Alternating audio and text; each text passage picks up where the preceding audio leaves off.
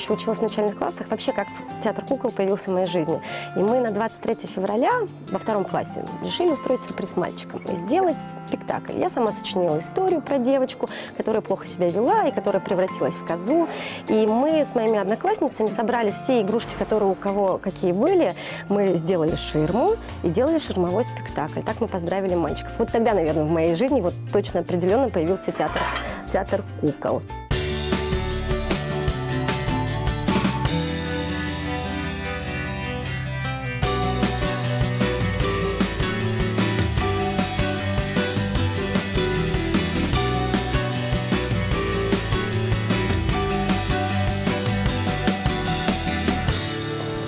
Одним из первых новый театральный сезон в республике по традиции открывает театр кукол. В этом году юных зрителей ждут как уже полюбившиеся спектакли, так и премьерные показы. Сегодня в нашей арт-мастерской мы встретимся с ведущей актрисой театра, спортсменкой, комсомолкой и просто красавицей Анной Деркач. Аня,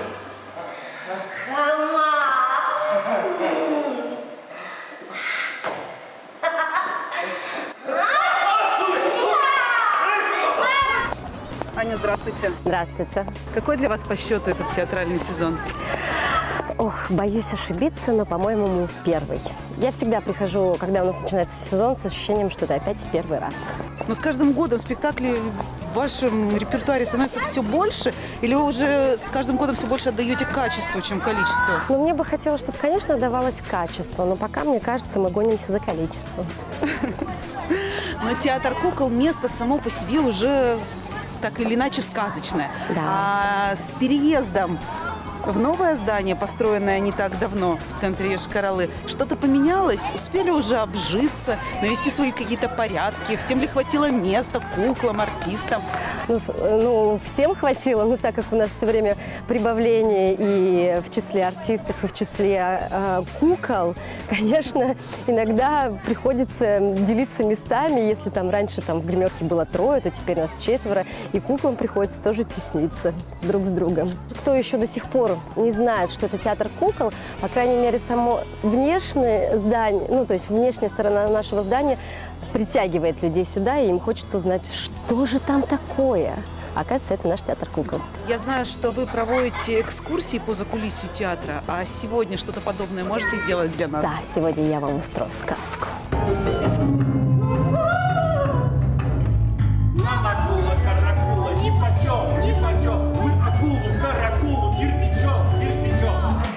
Окончили колледж культуры и искусств все-таки как актриса драматического жанра.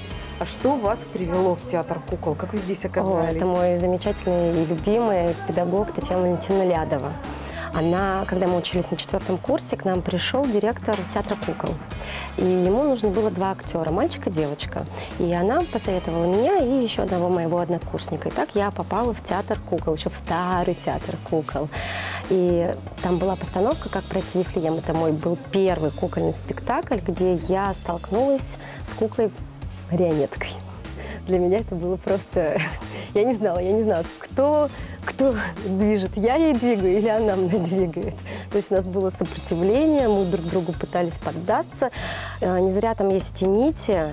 И как бы актер, то есть он ведет эту куклу. Конечно, мы все, ну, там, вс- все типы кукол мы водим, но марионетка – это такой баланс на грани, где ты не можешь делать резких движений или, наоборот, мягких. Ты должен абсолютно чувствовать куклу, ее балансировку, куда, как она может голову повернуть, как она может сесть, ну, чтобы она была живая, правда живая.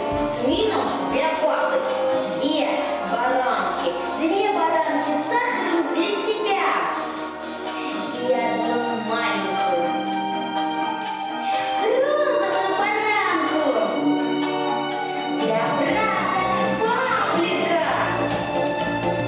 руках мастера все это открывается, да, вот как раз э, проявился ее характер.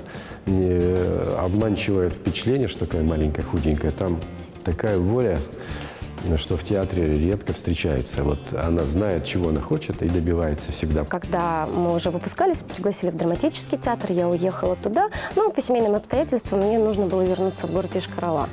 И когда я вернулась, наверное, у меня был такой момент, когда я потерялась. Ну, просто потерялась. Я не думала, что я вернусь в театр. И опять же, я встретилась со своим педагогом, который сказал, ну, Ань, давай в театр кукол. Наверное, ну, она понимала, что если брать наши театры, я маленького роста, то есть мой типаж не очень подходит для драмы, хотя я стараюсь на это, как бы, об этом не думать. То есть каждый режиссер в каждом актере увидит что-то. И я позвонила Вячеславу Санычу, и он сказал, конечно, приходи после Нового года, мы будем тебя ждать. Я вернулась в театр, и вот до сих пор здесь служу. Какая кукла у вас? Есть какая-нибудь любимая кукла? Может быть, какие-то ассоциации с детскими игрушками у каких-то связаны? У меня есть несколько спектаклей, которых я, которые я очень люблю, и персонажи, которые вызывают во мне трепет, сил наши куклы. Но я могу сказать, вот мой любимый персонаж – это Акакий Акакевич. Это первая моя кукла во взрослом спектакле. А, и мы, я очень переживала, когда у нас была эта постановка, когда мы только начали репетировать. Изначально никто не знал, какие роли будут исполнять. Приехал режиссер, он сказал, возьмите кукол, каких хотите, и просто их поводите, но потом просто меняйтесь. И мы менялись, ходили с куклами, и потом Александр Янович уже сделал, ну, как определил роли. И когда я узнала, что я Акакий Акакевич, я очень сильно испугалась. Потому что я не представляла, как я это буду делать, как я это буду воплощать. Но самое главное, когда между режиссером и актером вот такая появляется доверие. Ну, это, это право совершенно того. Это, это право совершенно того. Я бы, э, если бы оно, если бы, да, вот. И мы ездили в Питер на гастроли с этим спектаклем.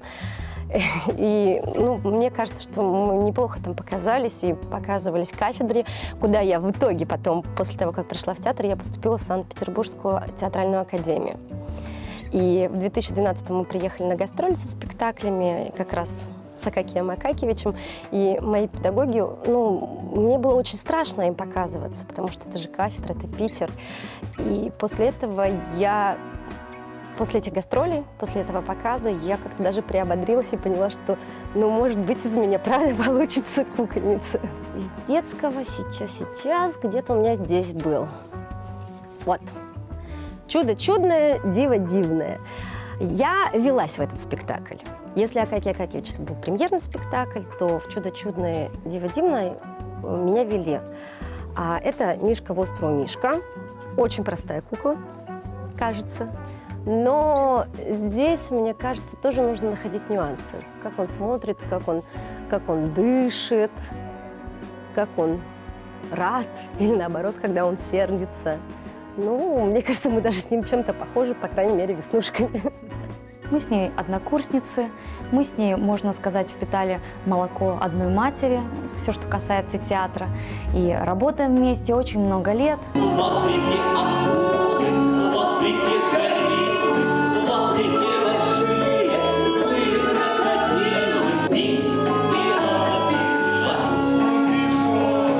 очень ответственный человек, который радеет за свое дело. Э, За каждый спектакль у нее болит душа. И э, вот все свои вот эти эмоции, которые касаются положительные, да, которые она сама передает от своего героя, от лица своего героя. И вообще все, что касается спектакля, если мы репетируем вместе с ней, она все это пытается передать нам. Замечательная актриса, очень с ней работать комфортно и удобно. Очень замечательный партнер, который может подхватить, подстраховать на сцене.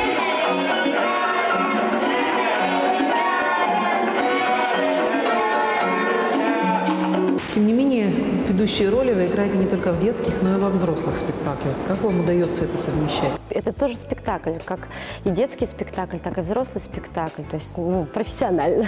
Другое дело, что, конечно, сейчас 21 век, очень много гаджетов, и когда к нам тоже приходят дети, и их внимание переключить с гаджета на происходящее на сцене, это немножко сложно. Приходится каждый раз удивлять. То есть нужно находить какие-то фокусы, еще что-то, э, что может переключить их внимание. Я отправляюсь домой, возьму оружие с собой. Сможет мой верный меч дракону башку отсечь. А кино? Пока на вашем счету одна картина. Это «Небесные жены луговых морей». Вот режиссер, ре- режиссер Федорченко проводил кастинг как вы думаете, вот чем вы ему понравились? А, когда я пришла на кастинг, он проходил в старом театре кукол. Федорченко не было. А был второй режиссер.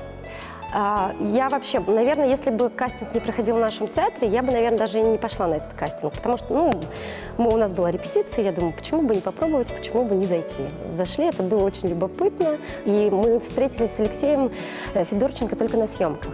И причем я его не узнала сразу потому что он похудел.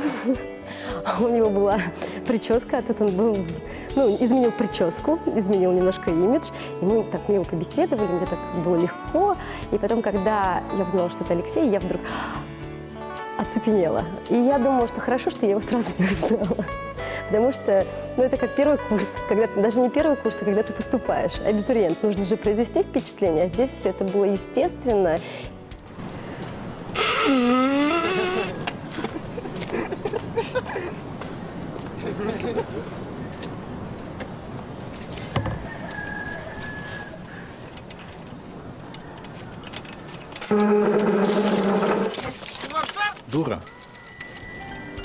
Следующий день мы поехали на съемки.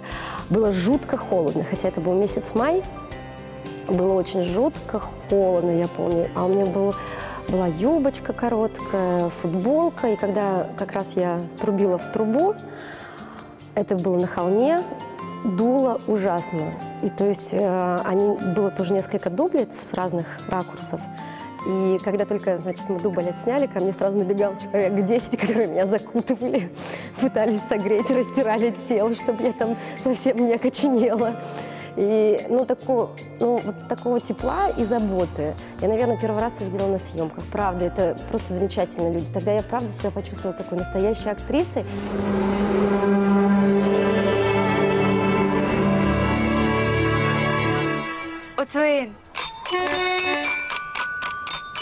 おしゃにゃ。開かない。